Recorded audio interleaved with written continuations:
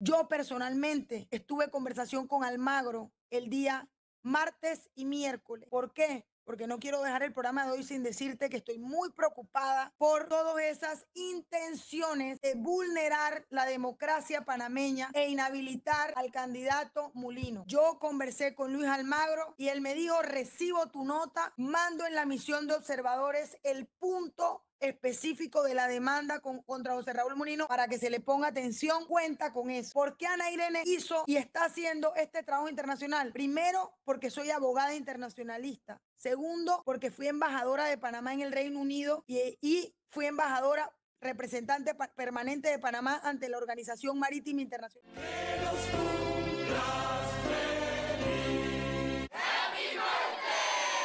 Hombre, hombre, hoy está de cumpleaños nuestra analista internacional y de temas legislativos, la candidata del circuito 8-1 por RM número 7, Ana Irene Delgado. ¿Cómo estás? Felicidades, Ana Irene, ¿cómo estás? Bienvenida. Buenos días, Guillermo. Muchas gracias por esa sorpresa. Esa es la primera cantada de la mañana del día. Muy contenta, muy contenta un año más. El que no lo sabía ya lo sabe. Y eh, nada, en este momento, a, todo el que te vea ya sabe que tiene que hacer y felicitarte. Feliz cumpleaños. Que sean muchos más, mucha salud, mucha felicidad y muchos éxitos, más éxitos de los que tienes. Y bueno, vamos a ver si el, regalo se termina de redondear este próximo 5, 5 de mayo. Irene, ¿cómo va esa campaña? Bueno, Guillermo, hoy como todos los años tradicionalmente, yo, soy muy devota de la Virgen de Taboga y bueno, nos vamos a aproximar ahora en la, en la mañana a Taboga, al distrito de Taboga, a compartir con los moradores de la isla y a ir a la iglesia, que dicho sea de paso, hoy este año Taboga cumple 500 años de fundación y eso además pues es una celebración que vamos a tener Dios primero muy grande en junio. Y bueno, como todos los años, yo trato dentro de las posibilidades de estar en Taboga celebrando el 18 de abril. Así lo hice el año, desde el año, me parece que eso inició desde el año 2019. Lo estoy haciendo continuamente y este año no va a ser la excepción.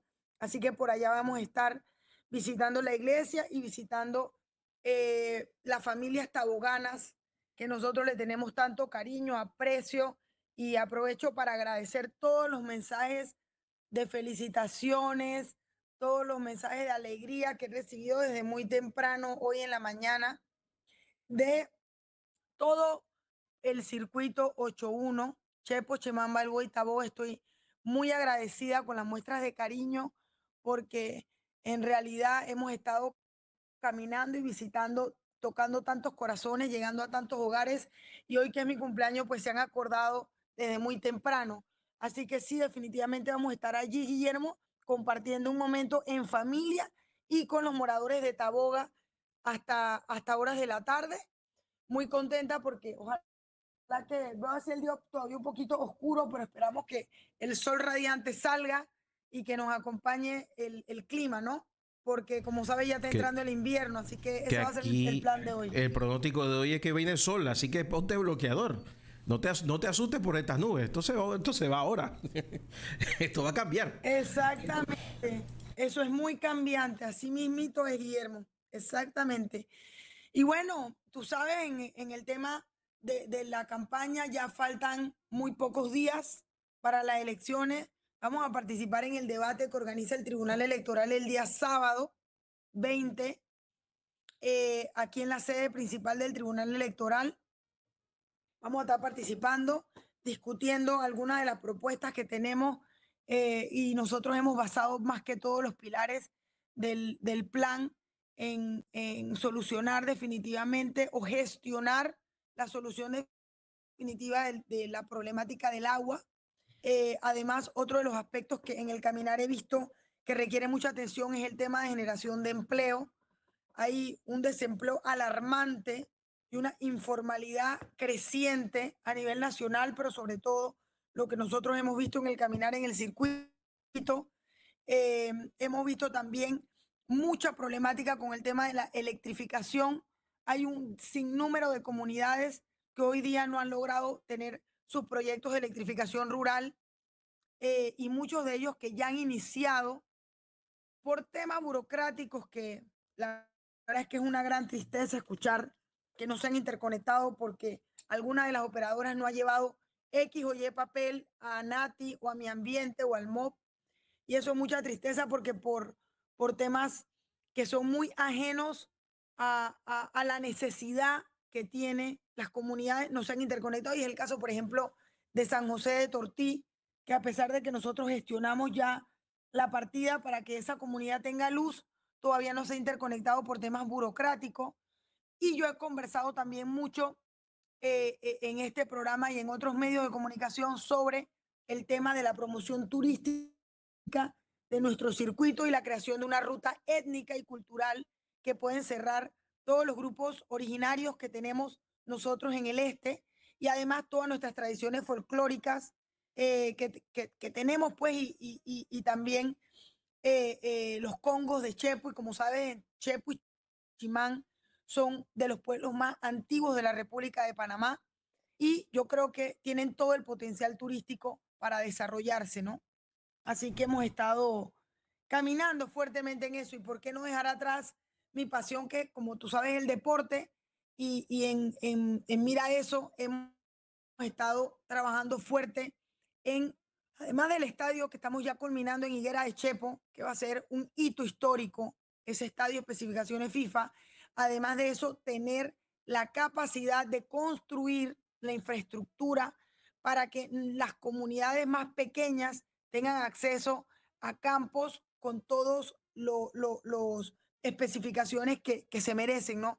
En eso, por ejemplo, el diputado Hernán Delgado ha donado ya en su gestión varios terrenos, en Piriatí, por ejemplo, uno, estamos trabajando el de los, el de Tortilla Abajo, ya con el movimiento de tierra, para que un estadio de béisbol y muchas otras comunidades que me ha tocado visitar me han pedido que se trabajen eh, y, y, esos campos y esos espacios de recreación que hoy en día no tienen eh, y, que, y que por favor le prestemos atención a ese aspecto. Así que estamos trabajando, Guillermo, y, y ya cada, cada vez más el día cero se acerca, así que es un, un caminar constante, ¿no? Y, bueno, la verdad es que así es, una campaña, hace una campaña difícil, sobre todo por, por lo, lo, inestable que la han hecho desde las esferas gubernamentales e institucionales del país. Pero bueno, eh, has hecho el trabajo, Ana la verdad es que eh, espero que, que, eso tenga, que tenga frutos y que la comunidad aprecie lo que, lo que se ha hecho, porque eh, cuando, cuando uno ve al el comportamiento de la asamblea, porque a veces se nos olvida que el lugar de trabajo del diputado es la asamblea. Y a, pesar de que tú eras suplente, creo que ibas más que la mayoría de los diputados principales al hemiciclo y también a las comisiones, sobre todo a las comisiones de trabajo, que eso también hay que apreciarlo, porque de nada sirve votar por un diputado en, eh, para la asamblea que ni va a la asamblea ni va a la comunidad, que no es el caso tuyo.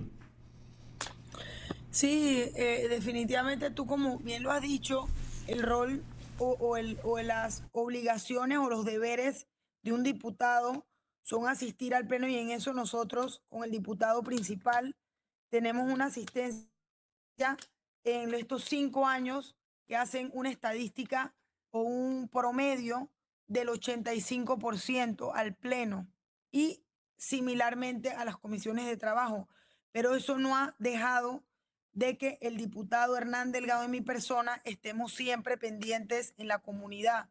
Nosotros somos diputados de puertas abiertas y atendemos a, a los moradores de la comunidad sin excepción todos los domingos desde que iniciamos el, el andar político, no como diputados, desde antes de ser diputado.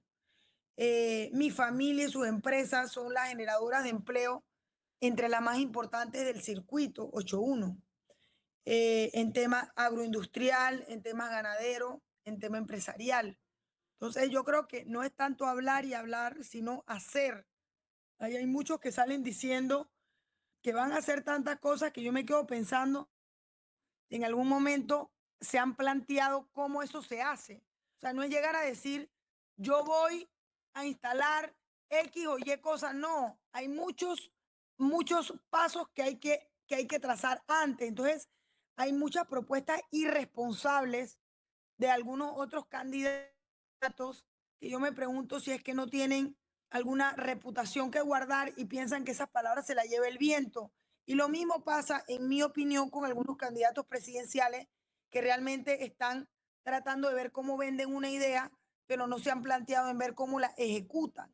Y no es lo mismo haber estado fuera del entorno gubernamental y plantear puntos que haber estado dentro y saber los pasos que uno tiene que, que, que, pasar, valga la redundancia, para ejecutar algo. Entonces, yo creo que en eso descansa la ventaja que tienen los electores de unos candidatos que ya han estado en el hemiciclo, que sabemos ya cómo se hacen los proyectos, cómo se gestionan los proyectos, cómo se presenta un proyecto de ley. Yo particularmente tengo ya en, en, en Gaceta más de cinco proyectos de ley que han sido presentados por esta curul que hoy soy ley de la República, a pesar de haber sido diputados de oposición. Y yo siempre lo menciono, nosotros en este en esta legislatura, a pesar de no haber tenido una mayoría en la Asamblea, logramos tener proyectos de ley que hoy día son leyes de la República. Y yo sí te tengo que decir que yo siempre he pensado un buen político es aquel que sabe combinar ideas de las cuales posiblemente no esté de acuerdo, pero llegar a consenso. ¿De qué me sirve estar en una asamblea y siempre provocar confrontaciones? Confrontaciones que lo que vas a hacer es perjudicar a tu circuito porque no creas consenso, creas conflicto. Entonces yo en eso nunca voy a estar de acuerdo. Yo soy una persona que a pesar de no estar de acuerdo con todas las ideas, yo creo que si algunos diputados están en sus curules, es porque sus comunidades así lo quieren.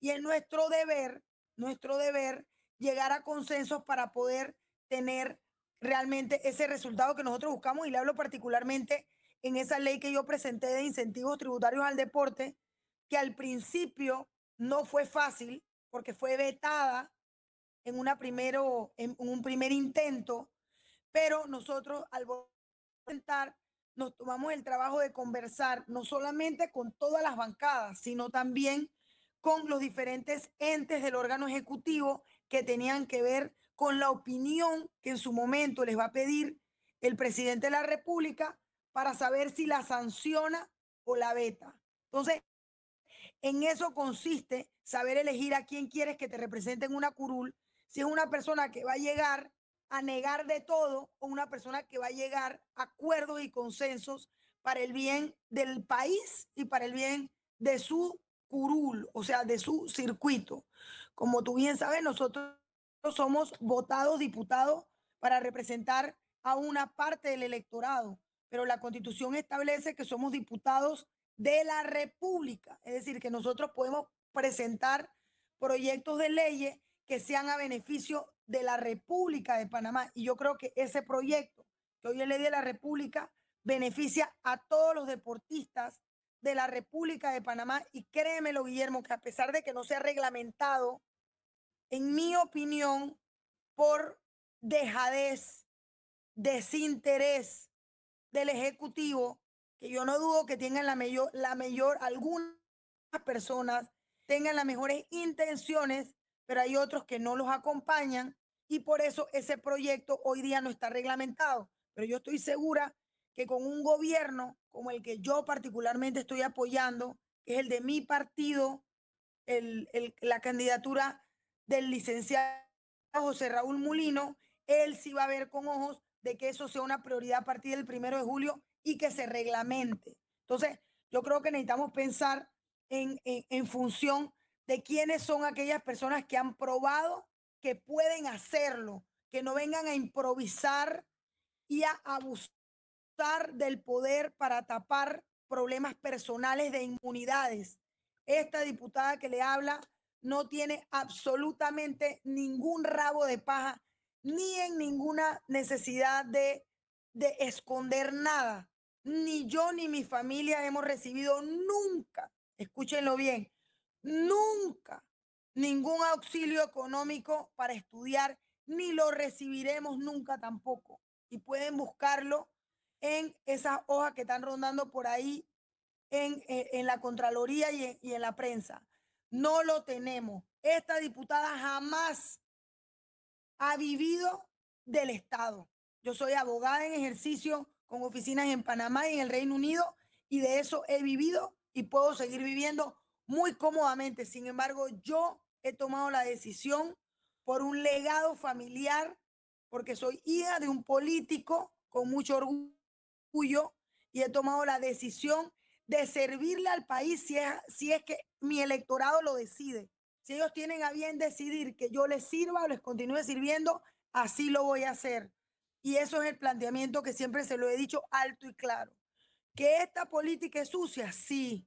Que hay muchas personas tratando de hacer y, y como decimos, cambiar un voto por un dinero también. Pero yo apelo a la conciencia de ese ciudadano del circuito 81 que ha visto los valores familiares que tenemos los delgados en ese circuito, ha visto el deseo de servir que tiene no solamente Ana Irene, que tiene Irene de Delgado, que ha dedicado una vida a la educación y, tiene una fundación que ha estado sirviéndole al pueblo chepano en el quinquenio en el que Hernán fue diputado en gobierno con unas clases de cultura, de folclore, de ballet gratuitas que Irene Delgado va y conversa, por ejemplo, con el autor Juancho de Unicito y hace todo lo posible por publicarle un libro a Manuel Fernández de Unicito sobre las historias que él tiene de la inundación del Bayano, de, perdón, sí, del Bayano, en el llano,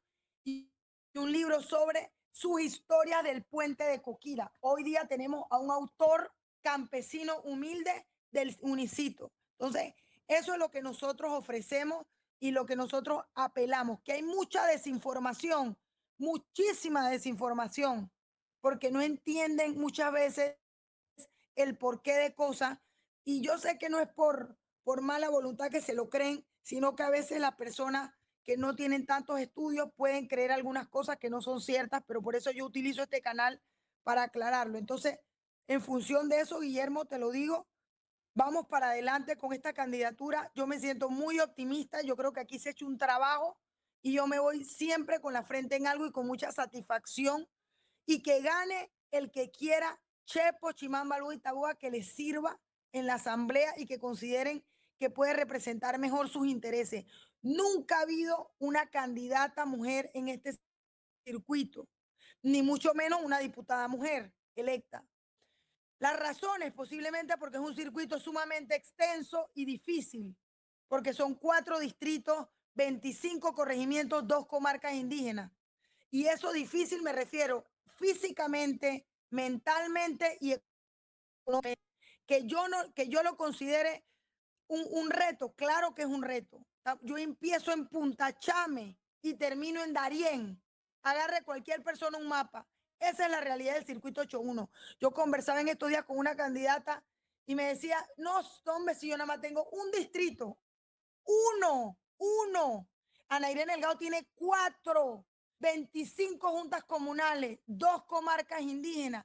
¿Quién va a querer este reto? Ojo, y, y, y vuelvo y le repito, caminarlo. Una casa está ahí, por ejemplo, para hacerle a los que nos están escuchando, donde usted está en calle 50 y la otra está donde está el aeropuerto, así como usted lo escucha. Entonces, esa campaña no se hace. Y cuando le digo de aquí ando, allá puedes llegarse esos caminos a caballo, porque a veces los carros no entran. A la Guinea se entra solamente en marea. No se entra cuando uno quiere entrar. Entonces, háganse cuenta eso.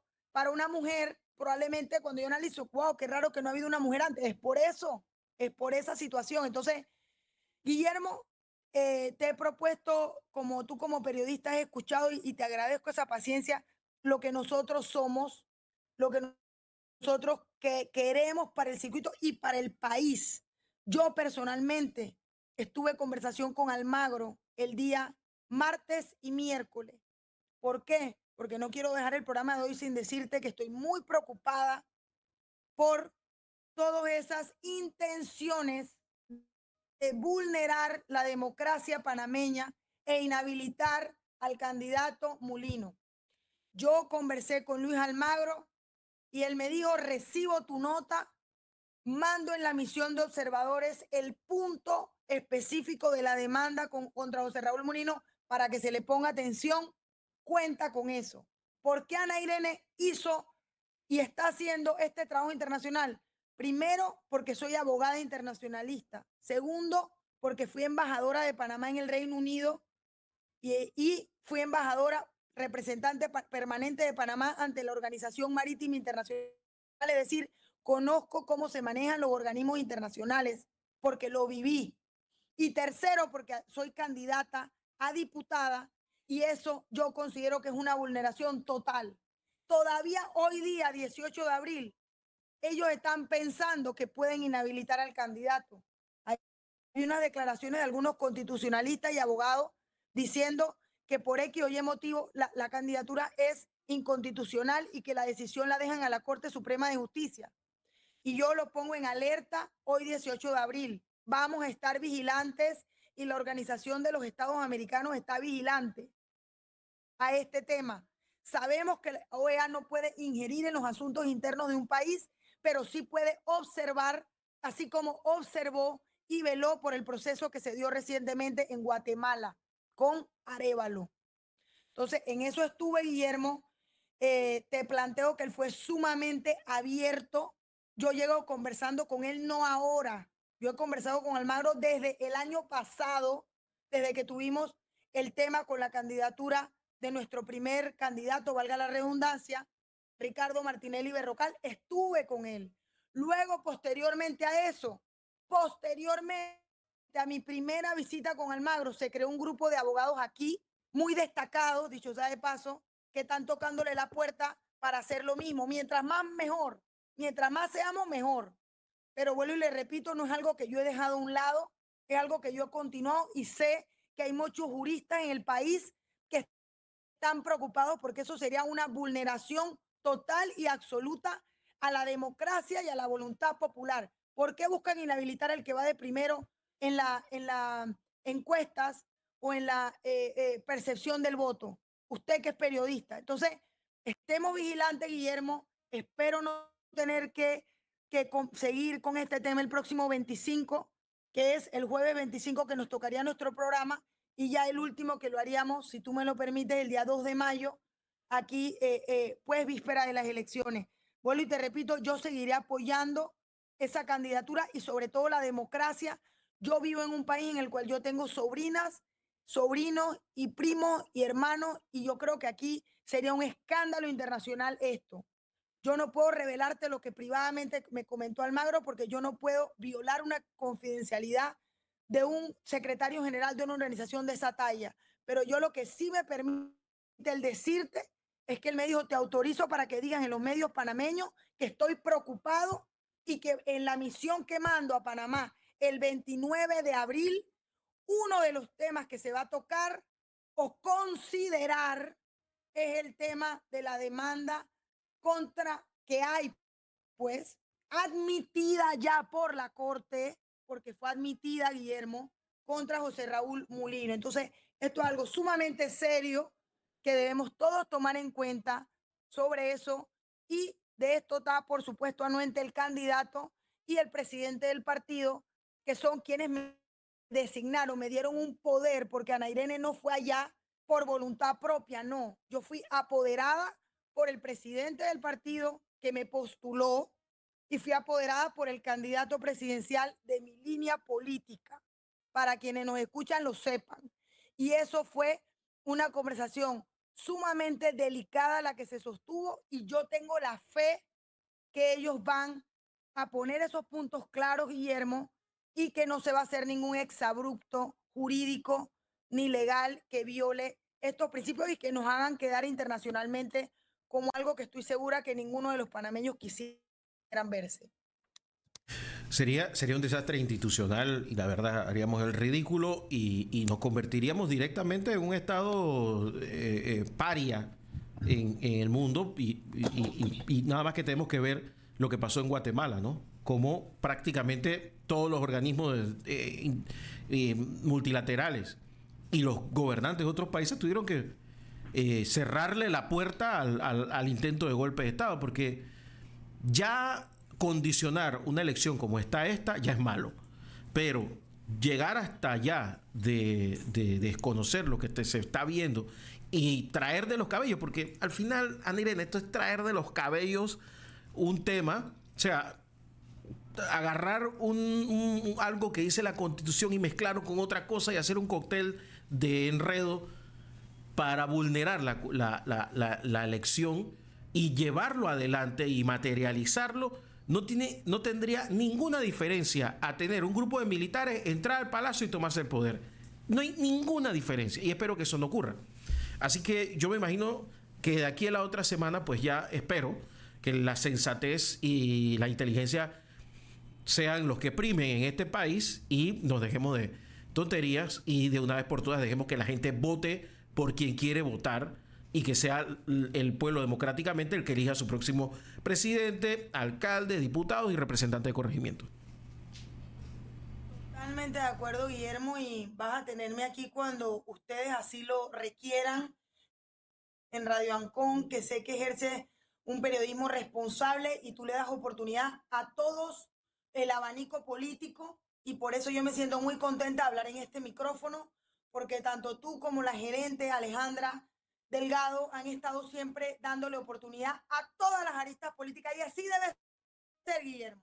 Y así debe ser y ojalá que este tema se debata a nivel de todos los partidos políticos y a nivel de todos los actores en este proceso electoral que yo creo que ha sido muy particular no solamente a nivel presidencial, sino a nivel también de los otros cargos que están en, en la mesa para ser electo. Y vuelvo y te repito, que el pueblo escoja quien quiere que, que lleve los destinos del país. Ese es el punto que nosotros sostenemos y, y, esperamos que así sea, ¿no? Así que veremos en los próximos días qué acontece, Guillermo.